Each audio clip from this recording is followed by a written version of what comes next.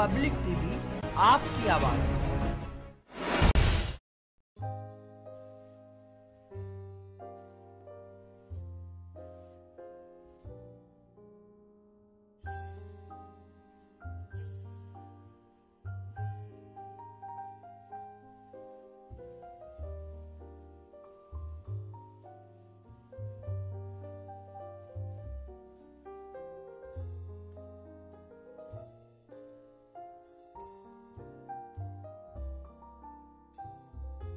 संदेश देने की कोशिश देखिए, जैसे कि हमारे महाराज जी का हुक्म है कि पेड़ लगाओ, पेड़ बचाओ। इसी मुहिम के अंतर्गत आज लघु उद्योग भारतीय मुरादाबाद चैप्टर ने एक मुहिम चलाई है कि कम से कम ढाई हज़ार पेड़ और उसका जो एक प्रोग्राम बनाया गया है, वो इस तरीके से बनाया गया है कि हर फैक्ट्री में कम से कम पाँच पेड़ लगें और वो पाँच पेड़ जो लगें, वो उनकी पालन पोषण सही तरीके से हो ताकि वो खड़े हो सकें और जो उद्देश्य हमारा है पेड़ों को लगाना, वो पूरा हो सके।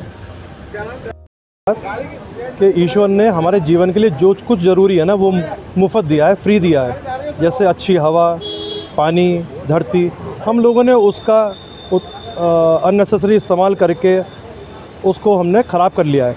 आज इस पहल से हमें प्रेरणा मिलती है, अगर हम पेड़ लगाते हैं, हमारी धरती के लिए बहुत ज़रूरी है और हमारे आने वाले भविष्य के लिए, हमारे आने वाली जनरेशन्स के लिए ये पेड़ उनके लिए बहुत बड़ा एक सहायक होंगे साफ़ हवा और अच्छी ज़मीन देने के लिए।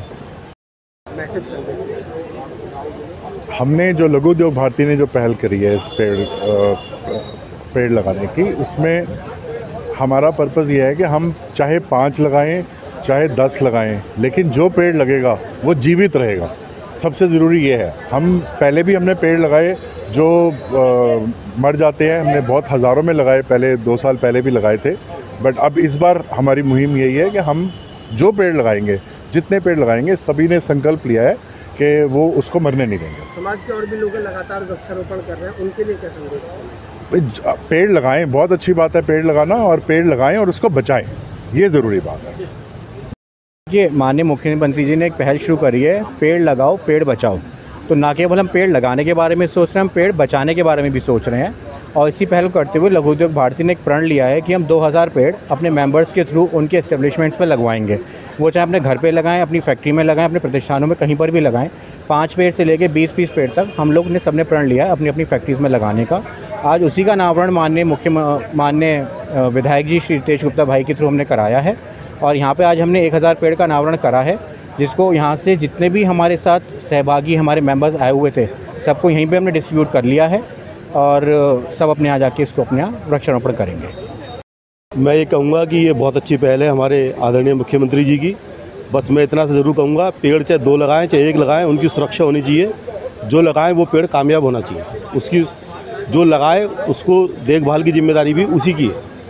थैंक यू पब्लिक टीवी आपकी आवाज़।